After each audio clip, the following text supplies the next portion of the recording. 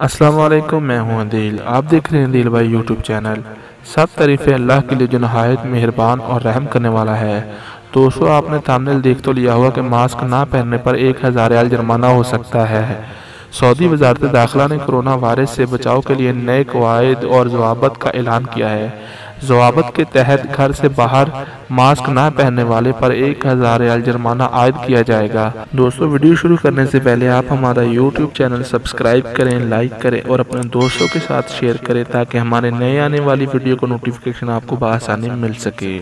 Saudi खबरसा agency S P A के मुताबिक वजारत दाखिला के जराए ने कोरोना वायरस से बचाव के लिए मुकर्रा एस ओ पीज के हवाले से बताया है कि खानगी आयली और दीगर इकदाम में शरीक अफराद की तादाद में तरमीम करते हुए इन्हें 50 अफराद तक महदूद कर दिया गया है। खिलाफ वर्जियों पर किए जाने वाले चलान के हवाले से इसराइल का कहना है कि निजी अदारों और कंपनियों में मुकर्रा प्रोटोकॉल की पाबंदी न करने पर दस हज़ार जुर्माना होगा जिनमें अदारों में काम करने वालों को लाजमी तौर पर तिब्बी मास्क पहनना होगा, जिसके ज़रिए मुँह और नाक डांपी हो। अदारों, कंपनी और दीगर तजारती शोबों में सैनिटाइजर की फरहमी लाजमी होगी।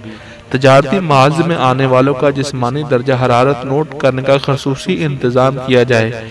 ऐसा ना करने वाले मुकर्रा प्रोटोकॉल की खिलाफ वर्जी के जुमरे में शुमार किए हों, जाएँगे। मुकर्रा कवाबत की पहली बार खिलाफ वर्जी पर अदारे या कंपनी पर दस हज़ार रियाल जुर्माना आयद किया जाएगा। खिलाफ वर्जी दोबारा रिकॉर्ड किए जाने की सूरत में जुर्माने की रकम दुगना यानी बीस हज़ार रियाल कर दी जाएगी। जारी किए जाने वाले कवायद में कहा गया है कि हर शख्स के लिए लाजमी होगा कि वो घर से बाहर निकलते वक्त एहतियाती तदाबीर अख्तियार करते हुए मास्क के इस्तेमाल को यकीनी बनाए। कपड़े या डिस्पोजेबल मास्क इस्तेमाल ना करने या समाजी फासले के असूलों पर अमल ना करने पर एक हज़ार रियाल जुर्माना आयद किया जाएगा। ऐसे अफराज जो किसी तजारती माल अदारे या कंपनी में दाखिल होते वक्त जिसमानी दर्जा हरारत चेक कराने से इनकार करे, इन पर भी खिलाफ वर्जी रिकॉर्ड करते हुए एक हज़ार रियाल जुर्माना आयद होगा। जराये का कहना है कि एस ओ पीज का मकसद कोरोना वायरस की वबा पर काबू पाना और इसे मजीद फैलने से रोकना है, ताकि महफूज रहते हुए मुआशी और माशरती ज़रूरतों को पूरा किया जा सके।